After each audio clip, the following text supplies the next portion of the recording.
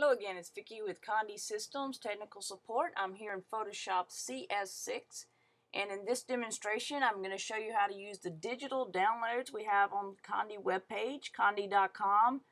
Click on anything in the menu up at the top, sublimation for instance, and over to the left you'll find the digital downloads. Also you'll find it on our product page. On our product page, Mug 15, the stockings, some of the um, uh, other digital downloads that you could use in, in coordinates with this video would work all the same in Photoshop and any other versions of Photoshop as it, they're very similar in how we click on the layer and place the image.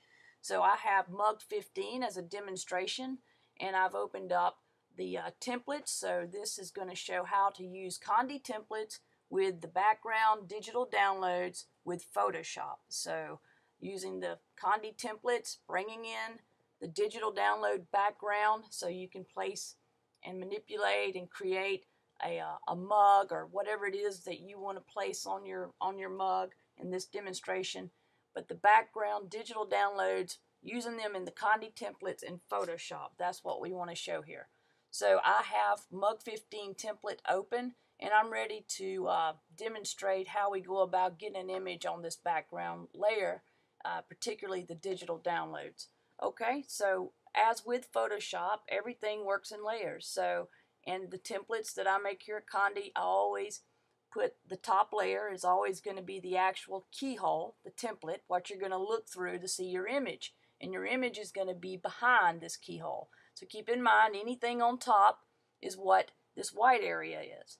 And what's behind here is a transparent layer where you can place your image size it, and print it. And what you see come through this area here is what would be sublimated onto your mug. So again, when you're working in Photoshop, you want to click on the layer in which you want your image to be placed on. And we want the image to be behind this area so we can see what's going to be printed and transferred. So clicking on place your image or graphic here selects that layer and now we're ready to go get the digital download that I have selected for this demonstration.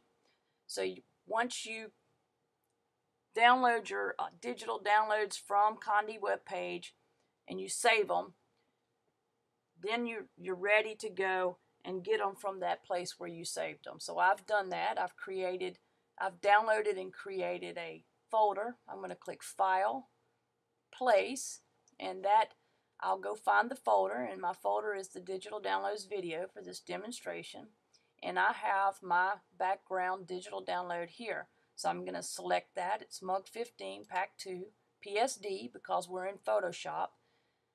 We want to choose the Photoshop layer. Once I've selected it, I can click Place and that brings it up behind this layer here you can see and remember anything behind is always under and while it's still X and boxed, you can see the nodes here. This gives me the opportunity opportunity to size and place. So I'm going to shift it over just by holding my left click down, selecting in an area, holding it down. And now I'm going to grab one of the corners, and we always want to grab a corner so that it will uh, equally proportion as we size. So we're going to fit it in this box as tight as we can without going outside the area too much.